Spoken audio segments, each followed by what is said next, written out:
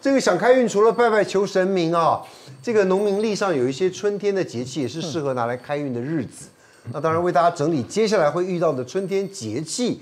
来，我们这边问一下李行老师，是有一个金值哦，金值可以做哪些事情来招财开运？在冬天，我们不管是呃大部分的动物啦。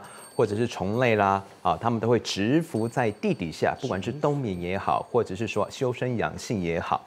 那可是到了冬天之后，哎，天气变暖了，然后呢，在惊蛰的前后会有打所谓的这个春雷。那这个春雷一响啊，就会容易把在地底下的这个动物呢，哎，给惊醒。那这个惊喜呢，就是告诉他们，哎，就是天气变暖啦，你们可以出来活动啦。好，那所以呢，春雷把这个呃地底下冬眠的动物还有虫类惊醒的这个呃状态呢，我们就叫它做惊蛰。那也因为这样子啊，哦。大家拢叫起来，大家拢叫起来。哦，就春天来了，啊那咵啊，因为哦，下春天要下雨了，要发芽了，哦，要下田雨了。好的，啊，不过啊，因因为以前呢，以前其实。以前的人其实第一个医疗不怎么发达，在第二个呢，卫生环境其实也不是很好。那我们来看金蛰这个蛰啊，它的这个部首它是一个虫字旁，所以代表就是说它指的比较是地底下各式各样的虫类会因为这样子爬出来。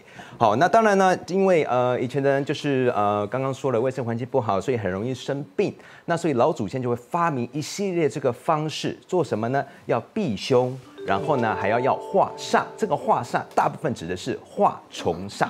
好，那先跟大家分享一下最古老的一个方式是什么？呃，老祖先呢就会在屋内或者是屋外啊去撒什么呢？撒这个灶灰。或者是石灰，哦，因为呢，我这样子绕这个房子撒一圈之后，外面这个虫，就算它爬出来了，它遇到灶灰、遇到石灰，它就不会爬到屋子里面去。哦，这是最古老的一个方式。但是我们现代人，我不可能拿着这什么灶灰、香灰或者是石灰撒在这房子周围嘛。好，那所以取而代之呢，就会比较是一些符合现代人的开运的方法。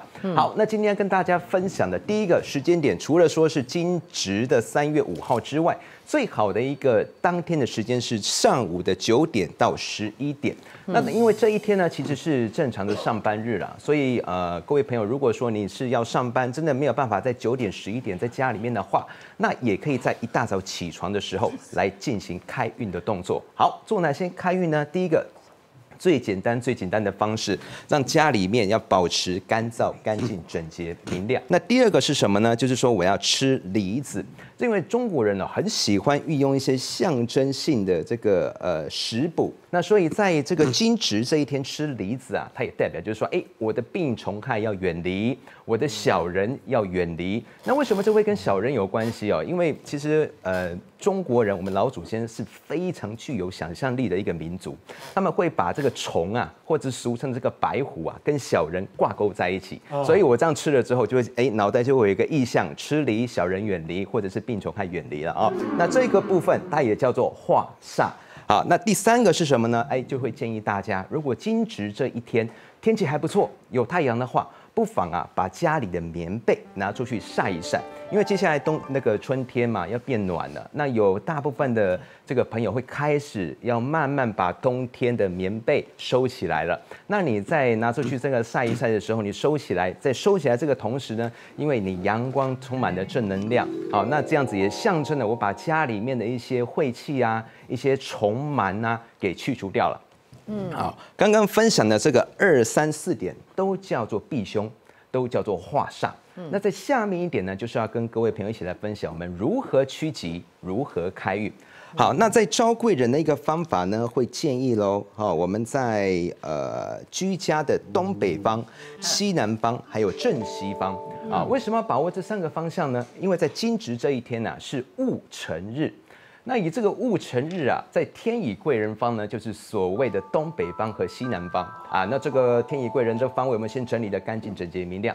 那另外，如果说东北方、西南方，哎呀，刚好是厕所、厨房或者是缺角，没关系，我们可以把握当天的六合方或所谓的岁合方，就是在正西方。好，那我们可以做什么事情呢？第一个，我可以焚香啊；第二个呢，我们可以准呃准备九朵鲜花。两种方式选择一种。就可以啊，就这样子简简单单、很生活化的一个方法呢，我们就能够把握在金值这一天，为自己的人际关系、为自己的贵人运，特别是在人际财上面，哎，获得加强。以上提供大家参考。再来听听我们张胜书老师，哪些紫微命格的人在二零二四年春季运势会爆棚？嘿，来，让我们来看一下，从命宫的角度了啊。二零二四年谁的运势最好呢？我们先看第一个是天梁星落到了命宫的朋友，在哪方面会最好？嗯，事业工作的部分。我们别看哈，我们一直在讲二零二四年呐、比如连贞花禄啦、破军化权，好像都没有天梁的份。可是天梁星坐命的朋友，你们知道吗？二零二五年天梁可就要化权了。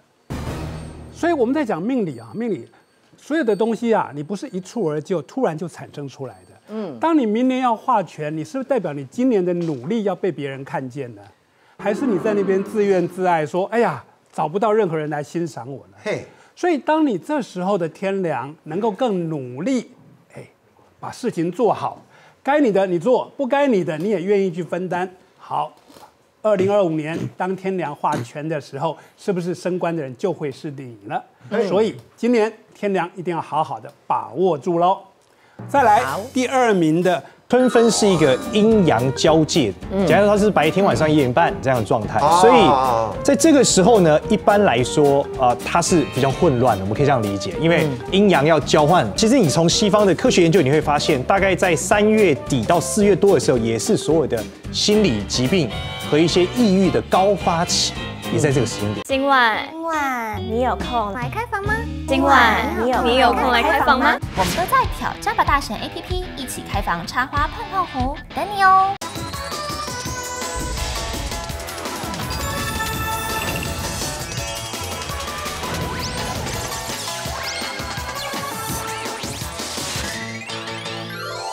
再来第二名的啊，雅兰，我忘了把你的把你的命盘准备旁边我我，你不是有要求吗？有中吗我？知道有会会中吗？有中吗？终于有机会把你的命盘拿出来给大家看一下了哈。来，我命宫在哪里？啊，对对对对对对，啊，底下嘿，巨门呢哇哈，耶耶，中了吧？中了，中了敲钟，敲钟，中了，中了，金钟就是这样敲出来的，对不对？好，二零二四年巨门的贵人运最好哦。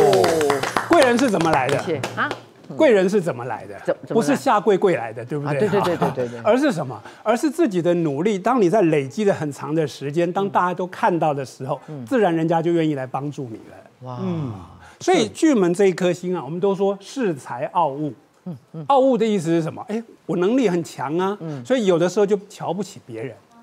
可是当巨门啊，为什么以前又叫做时钟隐玉格啊？叫玉不琢不成器啊。嗯慢慢的磨练磨练磨练磨到最后，是不是哎玉就出现了？这时候就会知道人脉最重要。嗯所以哈，贵人在今年到处都开始，哇，恭喜你啊！谢谢老师，再来，第一个是天府，哎，我没有把你的准备一下，还有还有你的，又会儿敲钟，敲钟敲钟，有了有了有了有了。有了，有料没卖。哦，哎金将后天府啊，今年的财运最好了，财运哦，对有的，你这多钱啊？所以哈，哎，钱敢有人嫌这哦是无啦，对不对？所以春季，哎，春季的运势财运就来喽。哦所以恭喜天府星、巨门星加天梁星的三个朋友，大家加油喽！